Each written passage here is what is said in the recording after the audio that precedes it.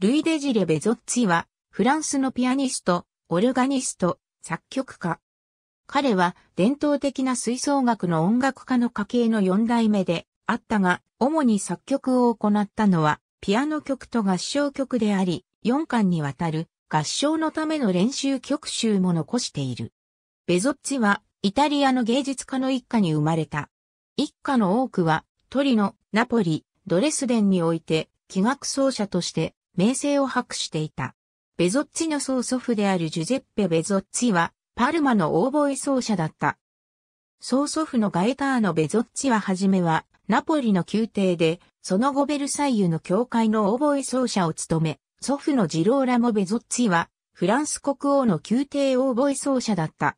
そして父のヘンリ・ベゾッチは、オペライコールコミック座のフルート奏者だった。ベゾッチは1825年7月18日にパリ音楽院に入学し、オーギュスト・バルベローにピアノを、ジャン＝フランソワ・ル・シュウールに作曲を師事した。ベゾッチは1831年からフェルディナンド・ガッセの後任として音楽院でソルフェージュの講座を受け持ち、その後、ルイス・ニーデルマヤーの古典、宗教音楽学校エコールでミュージッククラシークイ、レルリウスでピアノ教師となる。この職は1865年にサンサーンスが引き継いでいる。彼は音楽院で何度も賞を受賞しているが、1837年にはローマ大賞を受賞したことで、在ローマフランスアカデミーへと赴いて学ぶことになった。アカデミーではドミニク・アングル、シャルル・グノー、ドミニク・パプティラ他に出会っている。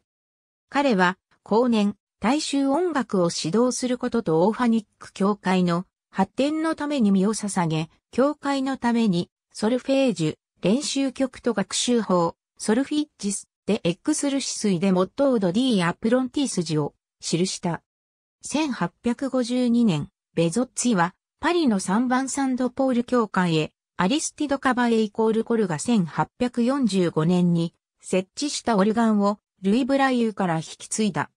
彼は1852年1月26日に行われたこの壮麗なオルガンの除幕式典へ出席していたが、彼自身のオルガニストとしてのキャリアは華々しいものとはならなかった。